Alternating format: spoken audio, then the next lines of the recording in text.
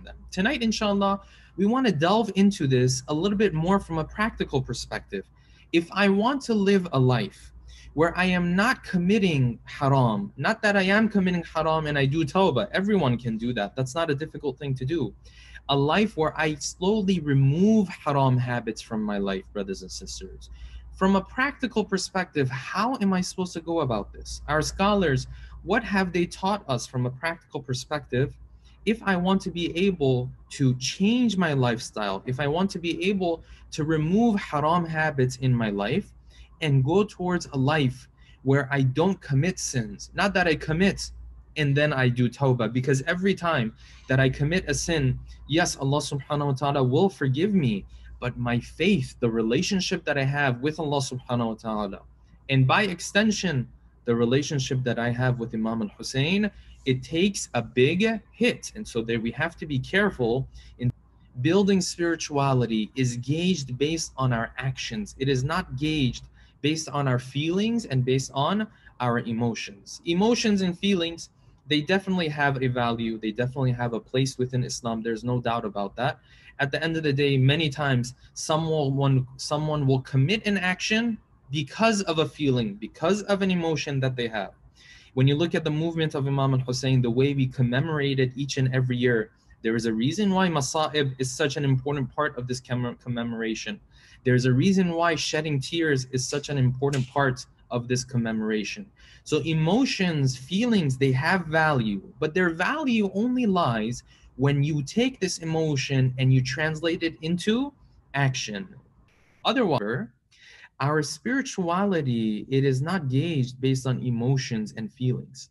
It is not gauged based on how I feel. It is gauged based on my actions. My actions tell better than any emotion or feeling of mine what is going on inside of me. Yes, the actions are the best factor that can show you what's going on inside of a human being. Therefore, in Islam, when we talk about spirituality, we're not talking about the type of spirituality that someone sits in a room and, for example, he lights certain types of herbs and he sits in this room and he just thinks and that's it. That's not the spirituality that we believe in. We believe in a spirituality like the spirituality of Ali ibn Abi Talib, that he would go into the battlefield, that he would defend Islam in the face of the enemies of Islam, and he would give charity and he would help the poor and he would help those who are homeless, and so on and so forth. Therefore, if I want to build spirituality, I need to have these actions that will help me bring me closer to Allah subhanahu wa ta'ala. And they will always tell you, if you sit with someone who is older, they will always tell you that the habits that you have, you have to fix them while you're young. Because fixing them when you get older, though it's possible, it becomes even more and more difficult. And that is why if I have a haram habit, I need to start working on it from right now. I can't sit there and say, inshallah, when I get older, inshallah, when I settle down, inshallah, later on, I'll start working on this. Later on, it's going to become more difficult for me to be able to do this. This is why journey towards Allah subhanahu wa ta'ala, this is a difficult journey. It's not an easy journey. That's why we read in the verses of the Quran, Allah subhanahu wa ta'ala says, Ya ayyuhal insan, إِنَّكَ كَادِحٌ إِلَى رَبِّكَ كَدْحًا فَمُلَاقِيهِ You will struggle towards your Lord until you finally meet him. Meaning that on this path, it's not an easy path. It's not an easy journey. They say that one day he received a letter from a young man. And the letter went something like this that, Oh, Allama Tabatabai, I have heard so many great things about you, and you write, you author books, though Allama Tabatabai was not as well known during his life as he is more so today. He says, You're this great scholar, and you are also a scholar of Irfan, you are also a scholar of philosophy.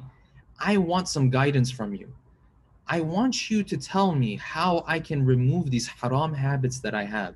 I'm young, I have desires, and these desires, they are getting the best of me.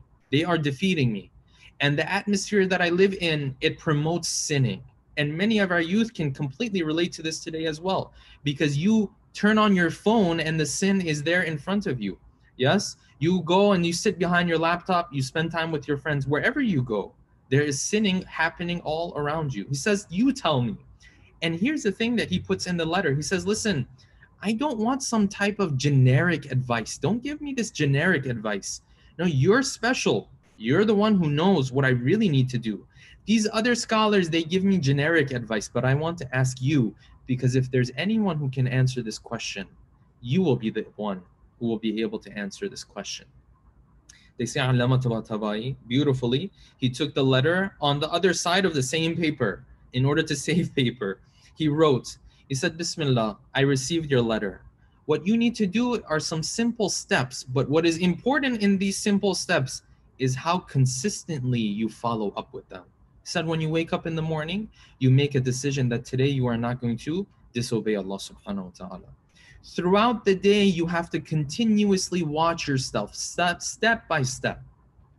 And when it comes to nighttime, you would sit there and you will hold yourself accountable. You would take a look at what you did because during the day you might be busy, but at nighttime, before you go to bed or while you're in bed and before you go to sleep, you'll sit and think for a second, what are the things that I did?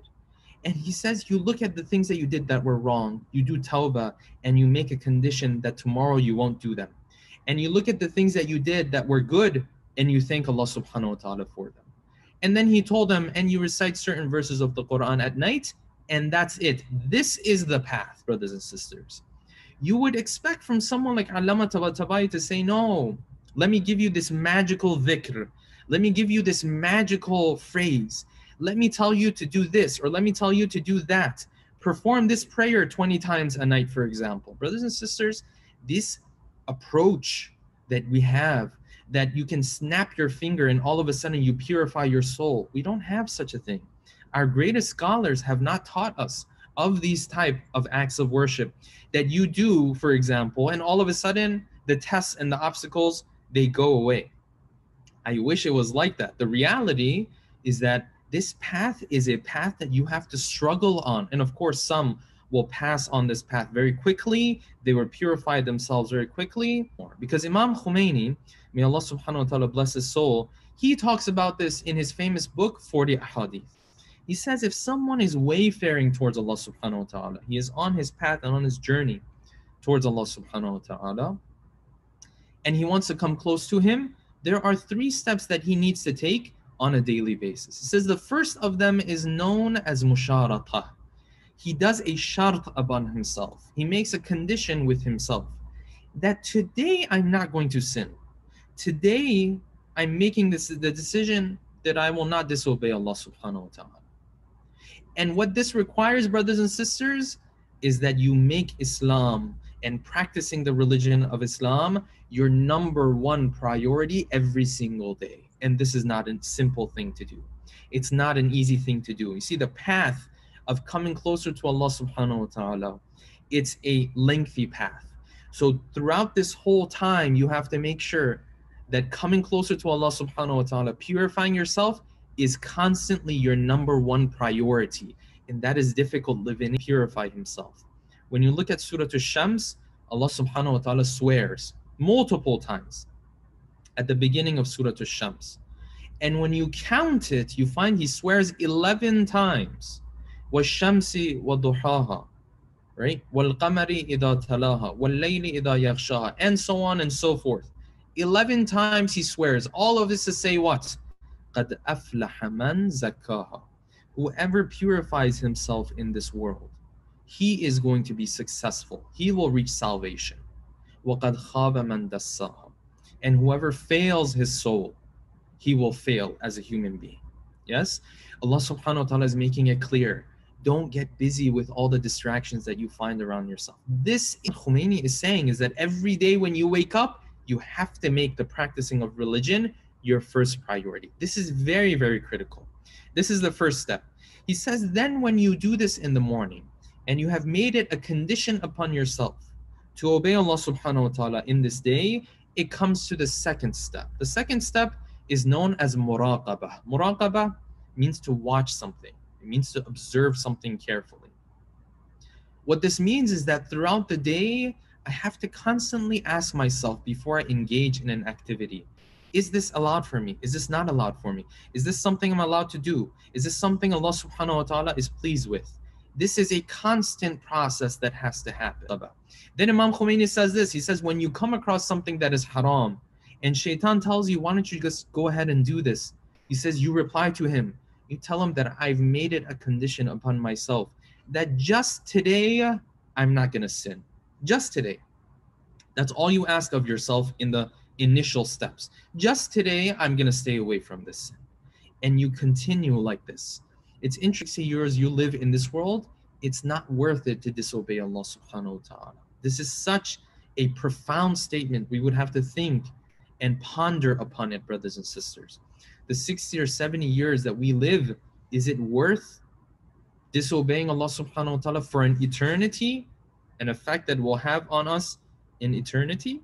So Imam al-Khomeini says the second step is muraqabah. You have to watch yourself every moment of the day. Comes to the third step. The third step is the step of muhasabah. This third step of muhasabah is a step in which at the end of the night, I sit back and I start to look at those things that I did throughout this day. And I start counting. This one I did was fine. This one I did, it was a problem. I need to work on this habit. It is a sense of holding yourself accountable, is a sense also of essentially self awareness, right? Being aware of who you are. What are those aspects of your life that you need to work on? And what areas are there that you are lacking? What areas are there that you are stronger in? If someone does this muhasabah properly, brothers and sisters, the self awareness is extremely powerful. This person, one thing that will happen is that he will walk around, he will not judge others. Because when you do muhasabah and you see how many mistakes you self you do yourself, you no longer hold other people in contempt. You never you never look at other people and judge them anymore. Because you know you yourself have done so many wrong things and you've done tawbah from them alhamdulillah. Therefore when you commit sins here and there even if they're small you don't murder people. You don't steal from people's wealth necessarily right? You might have you know backbited you might have uh, you know lied billah. These are the sins that we unfortunately are prone to. He said when you commit these sins do istighfar immediately and don't go back to them. Because these small sins, if you don't do tawbah from them, if you don't repent from them, on the day of judgment, when they are all gathered, they turn into a full pile. And this is what we're taught by the Prophet that if someone wants to spiritually purify himself, if he really wants to be the type of individual who comes closer to Allah subhanahu wa ta'ala and builds a connection with him, not just plays math so that he can get out of hellfire, he wants to build faith with Allah subhanahu wa ta'ala. This individual, he has to constantly live a life where he doesn't commit sins and then do tawbah. Anyone can do that. He lives a life where he